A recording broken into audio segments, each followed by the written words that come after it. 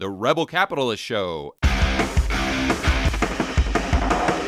All right, guys, it gives me a great deal of pleasure to welcome someone back to the Rebel Capitalist Show. He is one of my absolute favorites in the macro space, in the investing space, in the freedom space as well, which is so important in today's day and age. His name is Marc Faber. Marc, welcome back to the Rebel Capitalist Show. Well, thank you very much for having me on your show. So there's so much to talk about. Uh, let me just go and start by getting kind of your what you're thinking about right now uh, as far as macro, maybe pertaining to the United States and inflation, interest rates, yield curve control, and then we'll kind of expand on that. Well, uh, as you know, we have uh, artificial stimulus in the form of expansionary monetary policies where the Federal Reserve's balance sheet has expanded by close to $4 trillion over the last 12 months. Right. And other central banks are also printing money and expanding the balance sheets. And at the same time, we have now fiscal expansion. In other words, Biden's stimulus packages where money is being handed out or under the pretext of infrastructure expenditures, money is being stolen by politicians for their own agenda. Mm-hmm. So basically, we have an artificial economy. It's not the normal economy that moves on its own, but it requires this artificial stimulus. And what it, this artificial stimulus has done, admittedly, it's propelled the S&P and other indices uh, to the highest level ever in the United States. And even recently emerging markets have performed very well. And European markets have also begun to, be, to perform well. So stocks are okay. Uh, property prices have gone up again and uh, in some areas substantially in the main cities not, and not for commercial properties that are maybe a third empty. And uh, for housing in the center of cities, that hasn't done well. But in the countryside, it's done very well, as I expected. And we have, of course, these artificially low interest rates where bonds are very expensive. In Europe, you still have close to a third of the government bonds having a negative yield.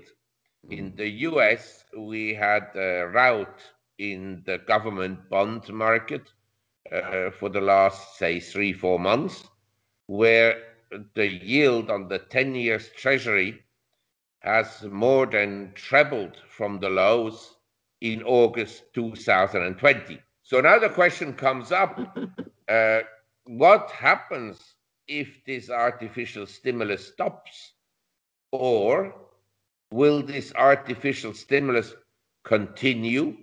Yeah, and right. as in economics, as is the case in economics, in order to keep its momentum, will it, ha- will it have to be increased over time? So this yes. is a very, uh, you know, it is more a political question, and uh, I'm afraid to say that this artificial stimulus has actually worsened conditions for many people. It's improved the conditions of the 0.01% of the population that are big shareholders, big property owners, and so forth. But the normal guy on the street, what I would call the average person, the typical person, worldwide is still suffering very badly from the crisis that was induced by governments. It wouldn't have had to be this bad, but governments with their continuous intervention and they know it, their know it better attitude and their arrogance and viciousness, they have destroyed the lives of millions of people that have lost their businesses with, which they had built up with accumulated savings. These businesses will not come back. Yeah, that's right. And let's go back to the kind of the plight of the average Joe and Jane. I read a study that incomes in the United States, and this was a study done by the government, the, the Bureau of Economic Analysis, I believe, from Q1 to Q2 in 2020, average incomes in the United States actually went up by 30% because uh, just from Q1 to Q2 because of the additional stimulus and unemployment benefits. But to your earlier point, are, are we building the entire economy around stimulus checks? So the entire demand side of the equation is government spending. And uh, what, what comes to mind there is Venezuela, because you've got an economy that's completely built around one thing. And when Venezuela, it was oil. So when the price of oil goes down, so does the whole economy. They've got to print to get their way out. You get hyperinflation. But is the United States doing the same thing in the sense that they're building their entire economy around one thing, and that's stimulus? Therefore, it becomes a political question that, that the economist and, and the investor has to ask themselves do we get more stimulus, less stimulus, no stimulus? And that answers all the questions that you need uh, or, you know, to figure out what to do with your portfolio. well, I think we'll get more stimulus because once you went down the path of money printing, the Fed has been expanding its balance sheet uh, for the last 30, 40 years, but right. at an accelerating rate since the great financial crisis in 2008. But that has to continue, otherwise, the system collapses. They tried to normalize it between 2019 and August 2020.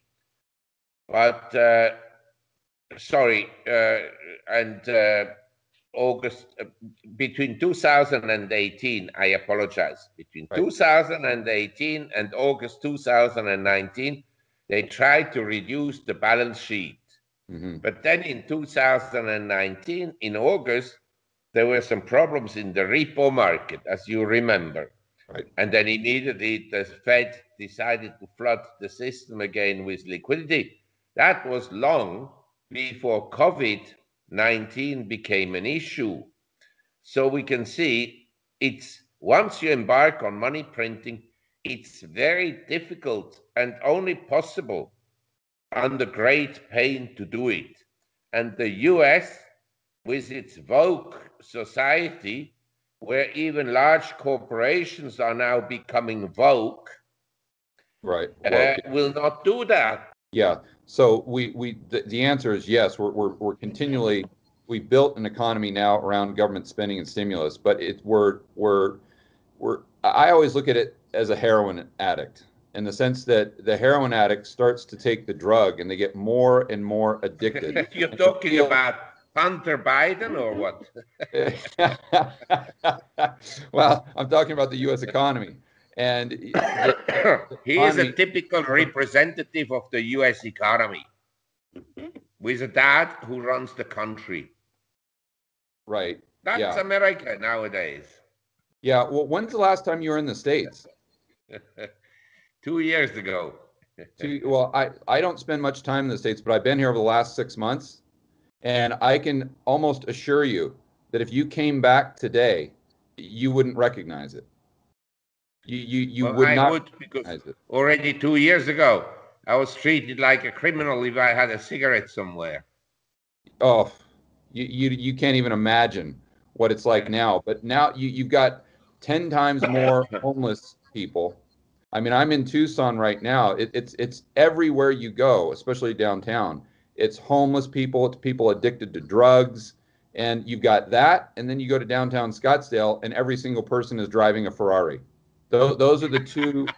those, seriously, those are the two groups of of yes. individuals that you have, and that's what this has done. That's what this one-trick pony economy has produced. That is dependent on uh, government stimulus. But to your point, you it's like the heroin addict. They need more and more and more of the drug to get the same effect. So, assuming that that's what the American economy's future looks like, how does that play out with interest rates, with stocks, with and then with the dollar, of course? Yes, I mean stocks can go up a lot more if you keep on printing money. uh, the escape valve is then uh, a dollar that weakens.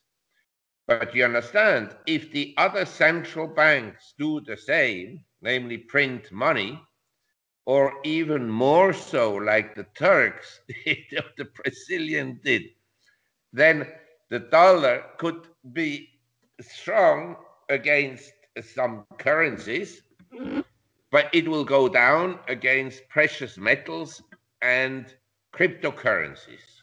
Right, or goods and services, yeah. That's so, what will happen. The bond market will, of course, weaken at some point. It's actually interesting. The dollar has been strong, but not that strong considering that I can buy now a US Treasury for 10 years at the yield of 1.7%. And in Europe, in Germany, I get a negative yield, or in Switzerland. You understand? The yield differential has uh, grown dramatically, and it hasn't made the dollar much stronger. So, if we think this through, through, then if the interest rates in the US came down again, and I happen to think that the economy is not as strong as the market is perceiving it to be, mm. Then I think the 10 years, if they go down to say 1.4, 1.3% yeah. from the 1.7, I think the dollar will weaken again. So you see the long end of the yield curve actually coming back down more. Uh, you think yes, I think so. Will take hold but, again. Yes, I, I think as a contrarian trade, I think the ten years looks quite attractive mm. to buy, but not for the long term. You understand? It would have been uh, for a tra- for a trade where say you buy there's an ETF, the TLT. If you buy the TLT today, I think it could rally ten percent. So assuming that that happens and we get some more deflationary pressures because we get gridlock in Washington and they just can't get out this next stimulus package to give the heroin addict what it needs. What what would be the catalyst, Marc, for uh, we, for the transition from those deflationary pressures back to inflation or potentially stagflation like we saw in the 1970s? Well, I, I mean, I think they will get the package through because, as you know, every Congress congressman can be bought. The question is how much you pay him. So they'll buy the Republican congressman and they'll agree on some kind of a package. The question is, you know, the package is this big. How much goes to the Democrats and how much to the Republicans? But eventually they'll all agree as long as money flows through the pockets of politicians. So I think that will happen. But as you know, in the world, everywhere where the government became a larger part of the economy right. And the private sector contracted relative to the overall size, in other words, the government takes a larger and larger share of the pie in every instance, without exception, the growth rate of the economy slowed down. Mm. And in the perfect in the perfect instance of the government taking the whole economy, like in the Soviet Union or Russia or communist uh, Vietnam before, and uh, China anyway, the whole economy, when it's owned by the government, collapses. Period. Right. Yeah, and I, on that note, I'd like to remind everyone that I, have done a couple videos on this, and going back prior to the Federal Reserve, the the the government accounted for about three percent of GDP, government spending. Now, prior to COVID, uh, it was around 45% when you include the local governments, and and now it's uh, it's close to 60% uh, of of GDP is government spending. So, you know, to your point, if this continues, uh, uh, you know, where's the level where um, the, the private sector just continues to shrink and shrink and shrink uh, as far as economic output. And you know that leads me to kind of thinking through inflation because it's not just the demand side of the equation; it's also the supply side.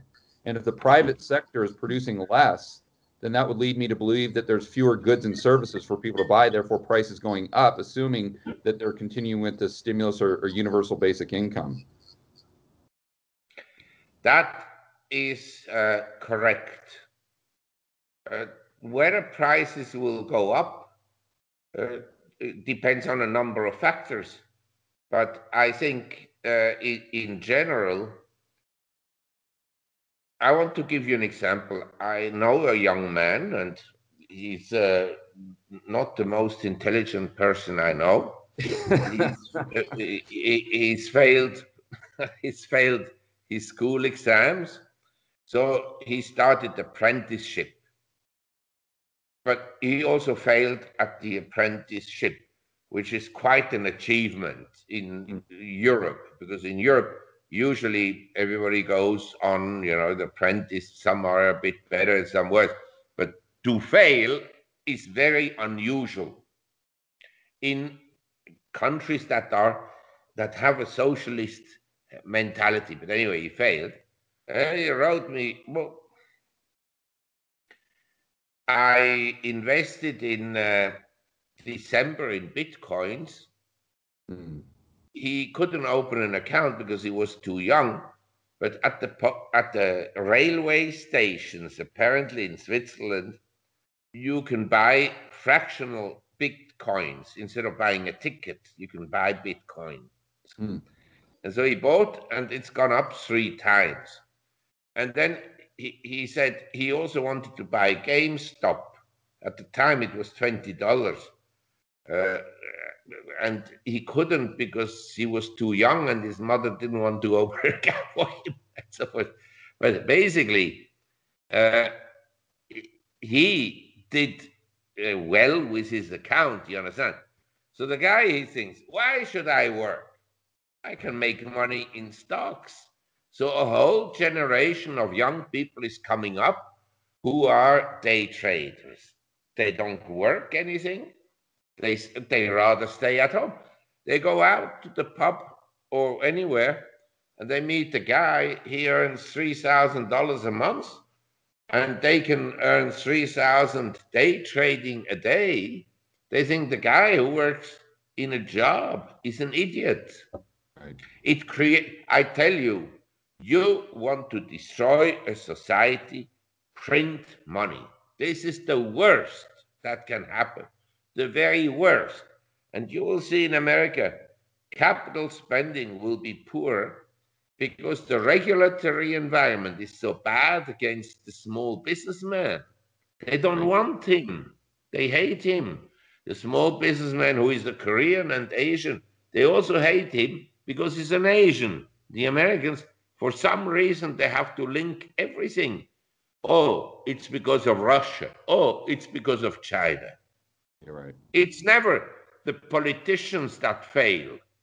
Yeah, yeah, that that's a fantastic point. On another anecdotal story that I'll let you know, uh, I've I've been in the U.S. and and now here in Tucson at least, it is almost impossible to get an Uber driver. Almost impossible, Marc. And I don't know if you used Uber when you were here in the United States in two years ago, but it was maybe five minutes almost anywhere you were in the United States. Yes. Five minutes and you'd have an Uber driver. Now, every single time I try to get Uber, it just says no cars available, no cars available, no cars available. You're lucky if you can get one within 45 minutes. And it goes right Why back. is that a shortage of drivers? Yeah, there's just no drivers. No one's willing to work. so, so in, in, yes, this is the incentive many people get more money from the government than if they would work. Then yeah. they have a disincentive to work. Yeah, and then to your point, with whether it's Bitcoin or stocks or whatever, we've we've turned everyone into day traders. I remember I was out at, at a golf course the other day on a driving range, and it was right next to the local university, University of Arizona, and there was like three groups of young college students next to me hitting balls. So I was kind of listening to what they were saying. Marc, every single group every single one of them was talking about trading cryptocurrency. Every one of them. That's all they were talking about. And so it, it's just, I think if people realize that society's wealth is not a measurement of how many currency units are in the banking system, but the, the but the amount of stuff that you can buy, the amount of goods and services it produces, then people would realize that the path we're on. But it's I just um, I don't have any hope there for people realizing it. But let's take it back to an investment uh, theme here. Um, gold has gone down for the last six months or so, and I wish it would go down further because I'd like to buy more. And I like the gold miners here because it seems like everyone's just completely forgotten about the gold and gold miners and focused on other things where you can get a 10x return in a week. So, what, what's your view on gold and the gold miners right now uh, for the long term? well, uh, what you said is absolutely correct. Uh, for the last six months, since August uh, last year, in 2020, the, the gold uh, gold is down 18%, and uh, gold miners in some cases are down 30 40%. I mean, they had a big correction. Uh, and I think at the present time, uh, we had for the last two months selling of the two major gold ETFs. So the assets of two major gold ETFs are contracting. That's actually a very good uh, news because it shows gold and silver and platinum are really not in a bubble. Yeah, right. You know, they're not in a bubble. Now, someone may say, well, they've had it because of this and that and so forth. But in general, I would say technically, also if I look at the stock prices today, I think they look actually good. And I think they will rally. Now, would I predict that gold will go to $5,000? No. But I think gold and silver and platinum are in a position to have quite a significant rally. Yeah. Do you, do you think that is predicated upon uh, real interest rates?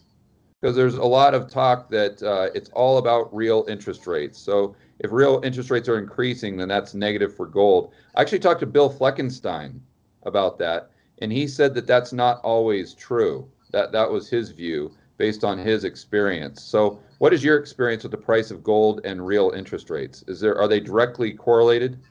Well, in the 70s, uh, real interest rates were always negative and gold went up.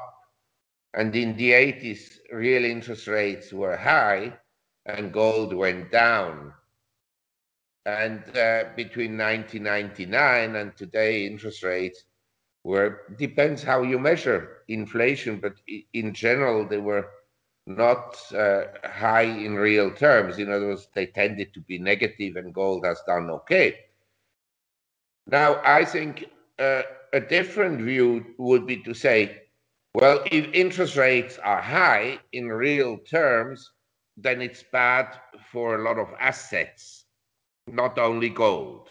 Mm. It would be bad for real estate, it would be bad for consumption, it would be bad also for cryptocurrencies.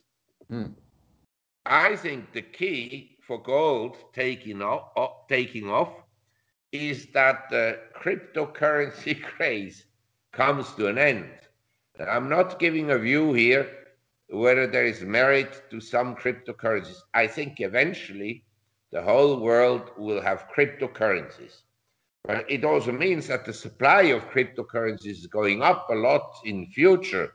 Now, maybe the one or the other crypto, like uh, Ethereum, Ethereum, and uh, especially Bitcoins, they may become the most accepted ones and the ones that perform best. I think right. uh, Bitcoins could go much higher. But as long as these cryptos go up strongly, uh, the big buyers of the big potential buyers of gold, silver, platinum will not be there. Mm. They have already positions. the outstanding position in gold is large. And they may add a little bit, or like you, they may say, well, I, I'll buy if it comes down in a final sell off. I have recently increased my position in gold because I consider it to be an asset of relatively high safety. And I don't trust a, the governments, and I don't trust the economic statistics they publish. All I can tell you, if you open your eyes, you can see how many businesses have closed. You can think how many will reopen. Yeah. Well, on that note, I wanted to get your view on just what's going on with the, the government lockdowns and the government getting just more and more involved in not only the economy, but in our everyday lives and how you see this playing out. And what's shocking me, so currently I'm just I, I'm sick and tired of everything that's going on just on a personal level, and I'm trying to find a place where I can get some sort of reprieve. And uh, there's very few countries right now where you can just get away from, let's call it the insanity. I mean, Tanzania is one place that I've actually looked into going just to take a break from it all. Um, but they're very. It's like it's like they're all these countries are all on the same page. And we hear now Chile is going back into lockdowns. Um, there's more draconian policies being implemented in Europe. I mean, and I try to think through what is the end game. At what point would the politicians come out and say, "Okay, it's done. We've conquered everything. No more masks. We can go back to normal life." What would I mean? will we ever get there again? I guess is the question. Yes, this is a this is the question. I think maybe the governments don't want to reopen. Maybe they will reopen for politicians and their relatives and so forth, but not for ordinary people. They will say, yeah, if you want to go to a pub or to a movie, you need a vaccine. And right. six months later, they will say, well, now you need another vaccine. And, uh, you know, they can do things. What I'm more wondering about, since that's my suspicion what the governments will do, knowing how vicious they are and how incompetent the worst people are always the bureaucrats. They can't find a job in the private sector. They failed at everything, but in the government, they get rewarded. So you have the, the collection of the worst people in governments, and they tell you what to do. And whereas your salary and everybody's salary is being cut, their salaries are being increased. That's the way it is. But I if I were 40 years old and I had my uh, physical presence the way I had it when I was 40, I would start a revolution. You understand? But when I look today at the world, why would I start a revolution? Tell me why. For the woke society, for people who want more government interventions, for people who don't want they, they accept that you have to show an ID card when you go on an airplane, when you go anywhere. You enter a building in America, you have to show your ID card. But to vote, they don't want that. Right. I tell you, the US has gone mad. The country is deranged. Yeah. You're in Thailand right now, I, I assume. Yes. And so, how is it in other parts of the world? I mean, since this whole lockdown thing uh, was instituted, I've been in Colombia, I've been in the U.S. Virgin Islands, in Puerto Rico, and St. Bart's, and in a few states here in uh, the U.S.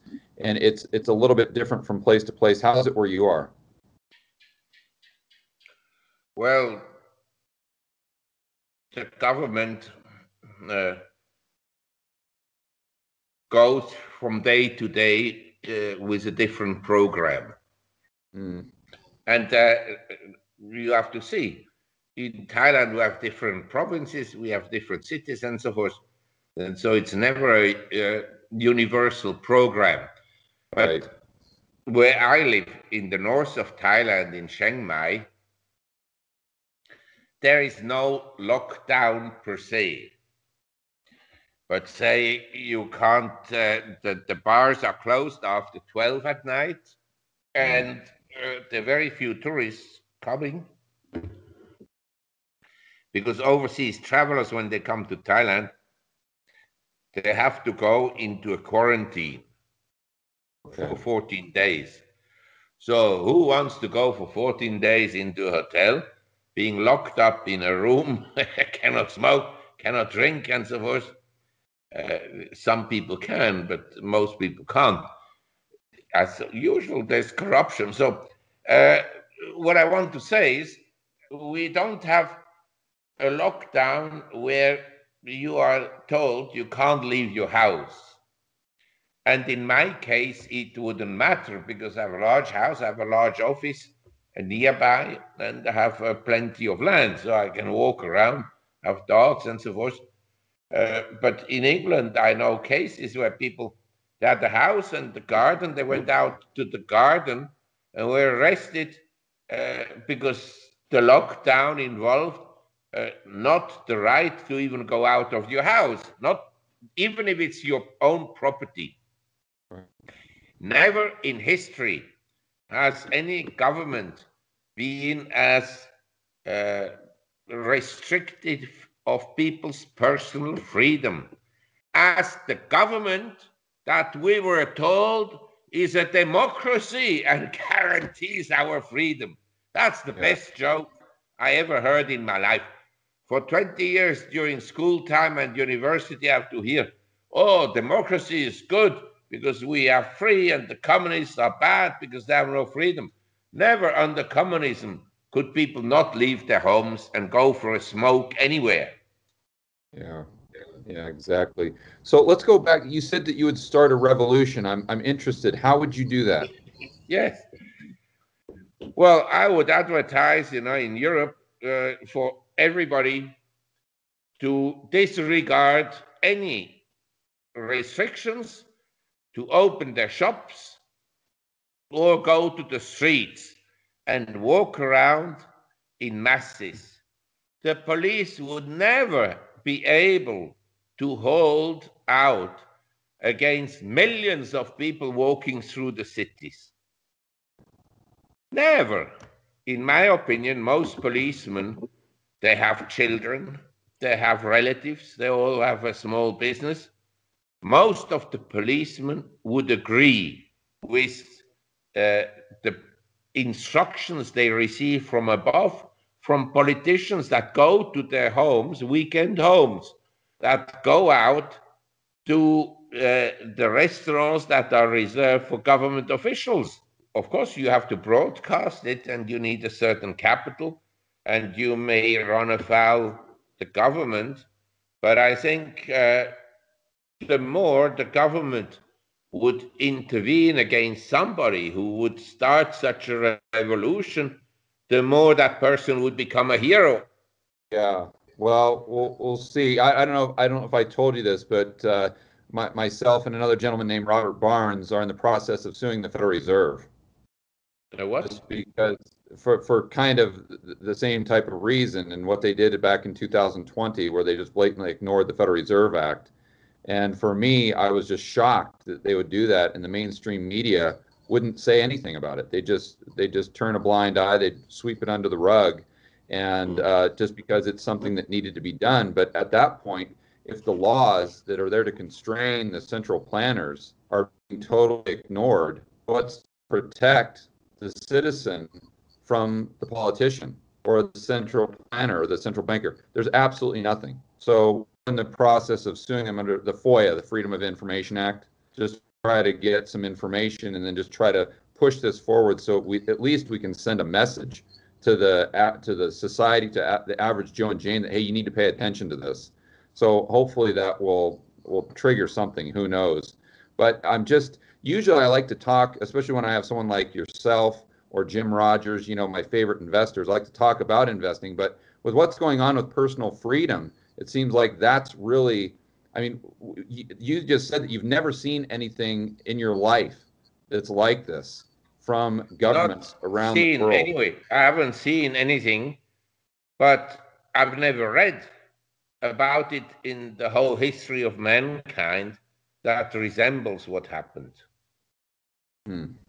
So, I mean, where do you think this is headed? I, I, that's, I'm sure, the question on everyone's mind. Well, I think we're heading.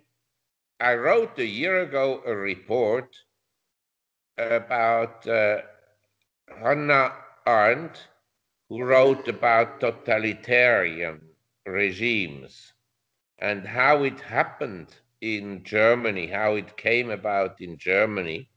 Right. A very detailed study. And I would uh, suggest that it's likely that we're moving into a totalitarian state. The question is the ruler more of a militant dictator, right wing, or is he more of a socialist? For the average person on the street, it doesn't uh, mean much. Uh, the issue is usually uh, when they're on that way road, when they're on that road, uh, when monetary policy and fiscal policies fail, and they have failed, they haven't lifted the standards of people that everybody can see and feel. But the government, of course, says, oh, it's because COVID. No, it's not because of COVID. It's because of the government's interventions.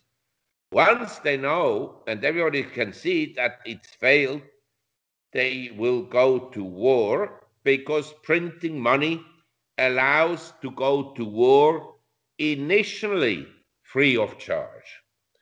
And the, in every war, the first 30 days were popular because the media will say, well, it's the Chinese, it's the Russians, it's the Iranians.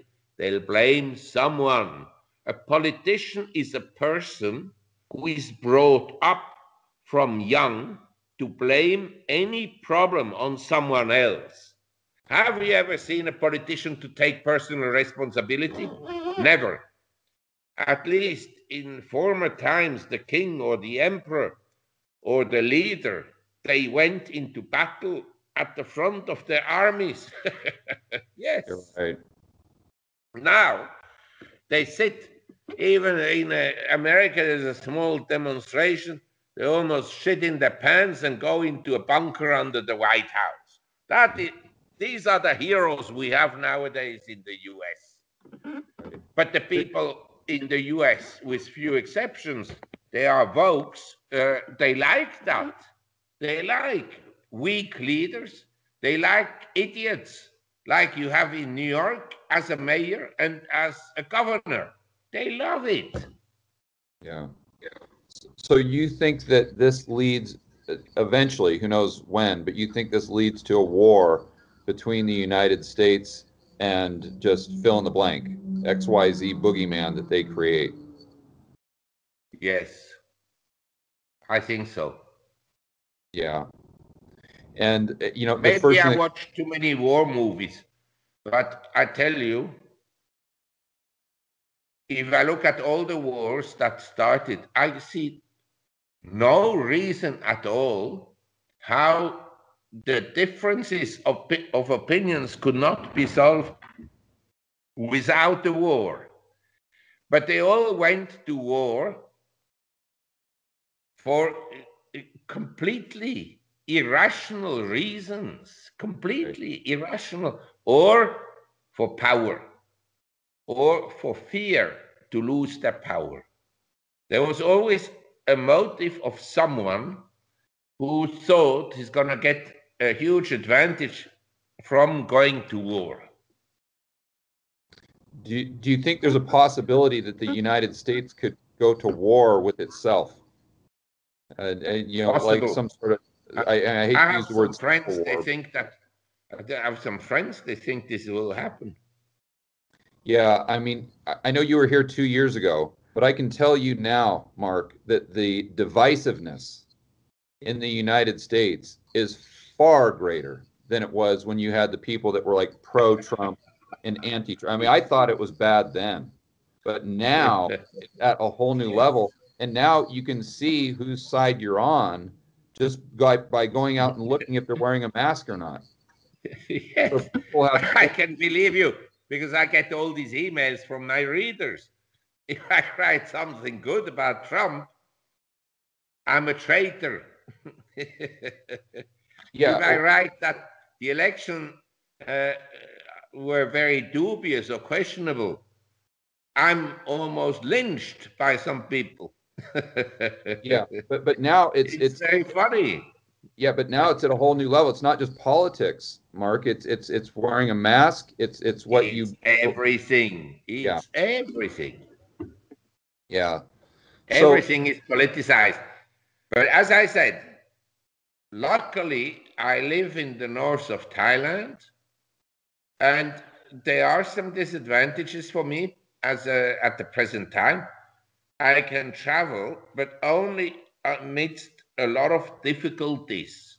And I say to myself, I'm quite happy to be here. I've learned a lot. I studied history, the, the parts of history that I didn't study when I was young at school, including Chinese history, the history of uh, music, the history of India, and the history of the Middle East. And I learned a lot about music, and I have my garden and I have a quiet life. I don't have to put up with the unpleasant uh, American immigration officers that have zero education and that have to teach you about everything and take your nail clippers away. God knows what. so I'm reasonably happy, but I can understand that someone who is 30 who likes to go to discotheques as I used to like and go out to pubs and drinking and be social, that for him the current restrictions are hell. Marc, what have you learned most by studying history? The greatest lessons you've learned that you could that you would want to communicate to others. Well, th- there were some wise leaders, uh, not too many. But uh, I think uh, one of the histories uh, that I believe in is that people actually may read history, but then they commit the same errors. Right. And I can assure you of all the wars I read about, I, I think none of them actually make sense. Mm. You know, Gallipoli was a complete disaster. Complete disaster. And uh, the Crimean War was a complete disaster for no reason. Right. So, and World War One as well, World War Two as well, you know. But I've learned one thing is that if you look at the world map in 1900, 1900, okay, there isn't a single American military base anywhere in the world outside the US, okay? Nowadays, how many there are? There are 250 around the world. Hmm. So, who is the aggressor?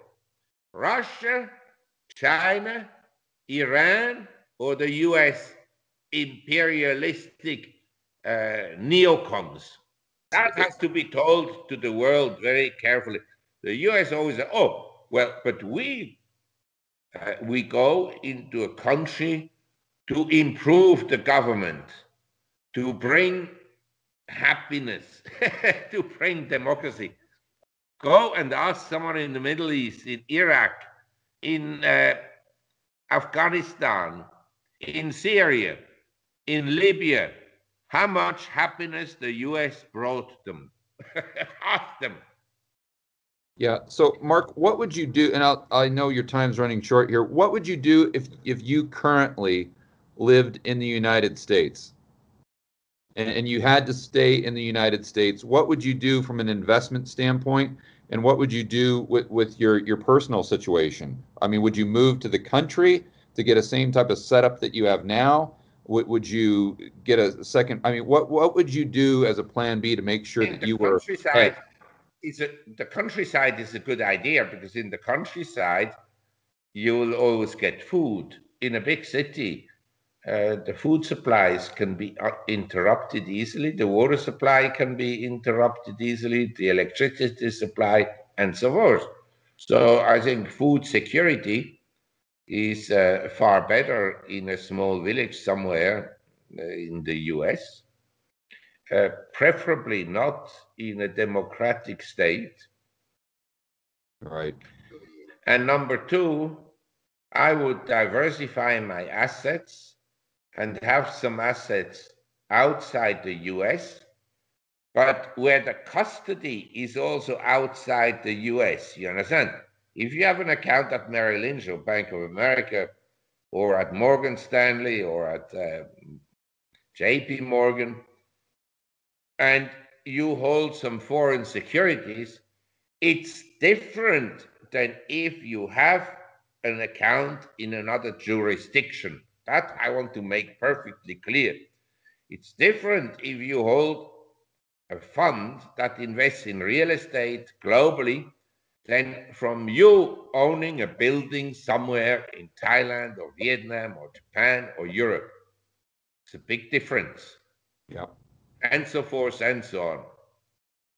I'm not a tax consultant, and you know, I prefer not to give uh, too detailed information about how to do all these things because I don't want to be a suddenly handcuffed at the CIA who is sniffling around the whole of Asia and trying to steer trouble wherever they can. Yeah, no, I think the concepts are fantastic, and that's what we're really looking for. So, uh, Marc, I really appreciate your time. I just, I, I love talking to you. For the viewers who want to find out more about what you do, where can they go? Uh, to gloomboomdoom.com. All right, fantastic. Gloom, boom, doom, all in one word. Okay, we'll go ahead and put it up on the screen and put a link in the description, but we'll have Very it. kind of you. Thank you. Thank you. All right, Marc, Nice enjoy. talking to you. your- Yeah, have, have a, a nice day. you too. Hi, guys. I'd like to invite each and every one of you to join me in Miami this June 11th through the 13th for Rebel Capitalist Live, the investment conference. And this is not over Zoom, this is face to face. I'm bringing a lot of your favorites from the Rebel Capitalist Show to Miami under one roof to speak, to give you the knowledge you need to increase your personal freedom, to become a better investor and make larger returns over the next few years when we have this financial uncertainty that's being caused by the Fed and the government. And finally, it's going to give you an opportunity to really take your understanding of macroeconomics and the world around us to the next level. We've got some incredible speakers lined up that are going to completely blow you away. People like Mike Maloney, Jason Hartman, Ken McElroy, Lynette Zhang, Mark Moss, Brent Johnson, Jeff Snider, just to name a few. The tickets for this event are really going to sell out fast, so make sure you go to Rebel Capitalist Live right now to get all the details and to reserve your spot. We need to come together as a group, as a community, especially after what we dealt with in 2020 and 2021, so we can learn how to build wealth and thrive in a world of out of control central banks and big governments. And we need to do this as a group, as a community of fellow rebel capitalists. So don't waste any time. Head over to rebelcapitalistlive.com and I will see you in Miami.